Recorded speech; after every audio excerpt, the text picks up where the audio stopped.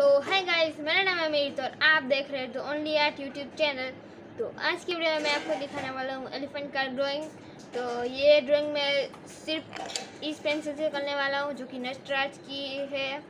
तो और मैं आउटलाइन के लिए ये मैकेनिकल पेंसिल का यूज़ करने वाला हूँ, जो कि सेलो की ज़ीरो पॉइंट सेवन की है।